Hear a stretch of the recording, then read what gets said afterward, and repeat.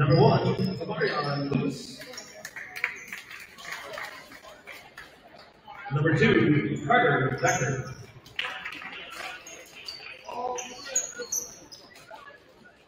Number three, Ryan Waddell. Number 10, Brandon Sheldon. And number 24, Chris Carter. And I'll leave the starting lineup for your CSAT Eagles. Number 5, Jacob Leslie. Number 13, Michelle D. Number 14, Kai Bell Rookie. Number 21, Kevin Trotter. And number 30, Jeff Worthy.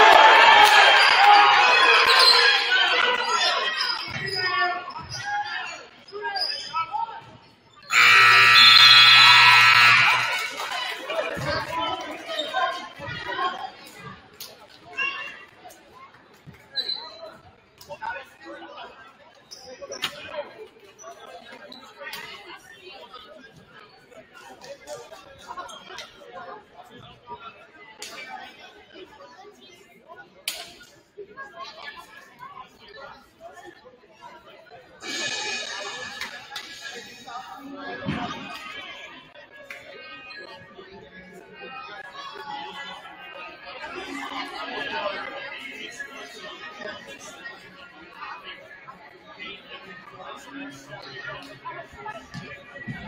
you.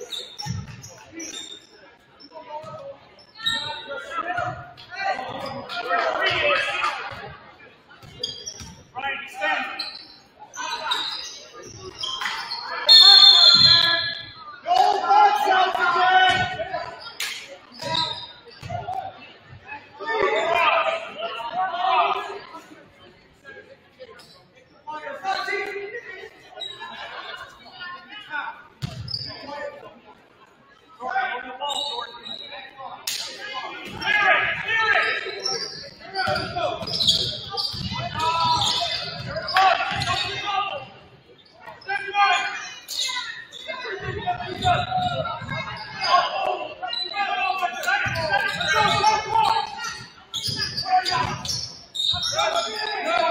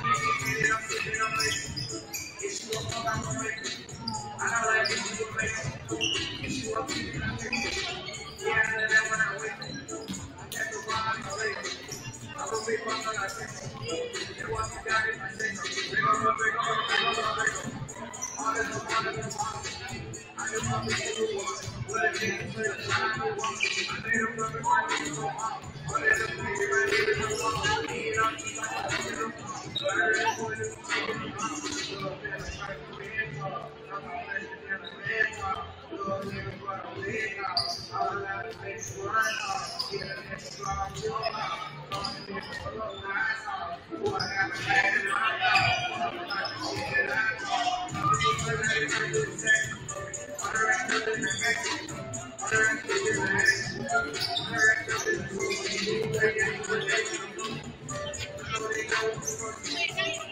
you.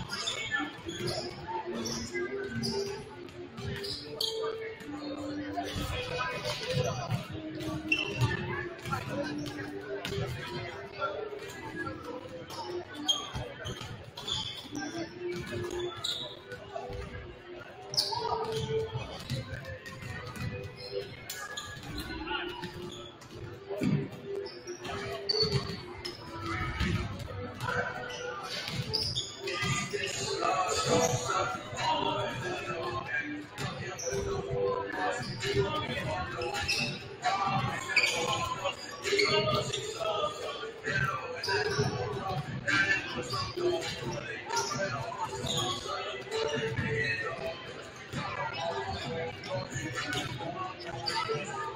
you.